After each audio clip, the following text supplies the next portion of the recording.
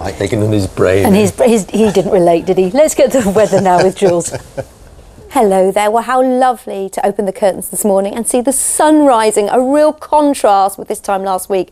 Monday last got off to a really miserable grey old start, but today plenty of blue sky and sunshine from Bedford right across the region. And here's today's satellite picture showing why, yes, we've had some areas of cloud, but some decent breaks too, allowing this sunshine through. And in the sun, out of the wind, it felt really quite warm, positively spring-like, and there is more of that on the way.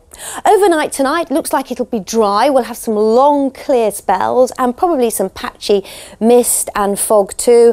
And and a frost because I think we're going to have similar temperatures to last night. Ones and twos generally, but we could see something a bit lower in some spots down to around minus one with mainly light southwesterly winds. So it's high pressure that keeps us in charge uh, tomorrow. So it looks like these weather fronts will stay away to the north and west and it's another fine and dry day.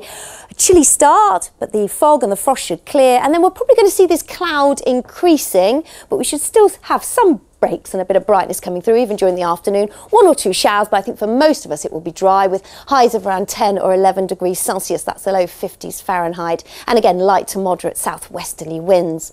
And then it's a very similar pressure setup for Wednesday. So again, I think we're looking at a fine and dry day. Yes, we'll have some areas of cloud moving through, but also some decent breaks, allowing some sunshine and brightness as well. And temperatures remaining above average. They should be around seven or eight degrees at this time of year. But again, on Wednesday, we're looking at about 10 or 11 degrees Celsius. That's the low 50s Fahrenheit. And then spot the difference for Thursday. The centre of the high migrates a little further eastwards, but it's really more of the same right the way through the working week and possibly through much of the weekend too. We may just see the cloud increasing on Sunday and eventually some rain pushing in from the west. But look at those temperatures 10 to 12 degrees Celsius. We keep the winds from a southerly direction. So very mild by by day, but I have to say we are going to have some colder nights. On some nights, as you can see, we will have temperatures close to freezing, if not a little bit below. So there will be a frost on some nights,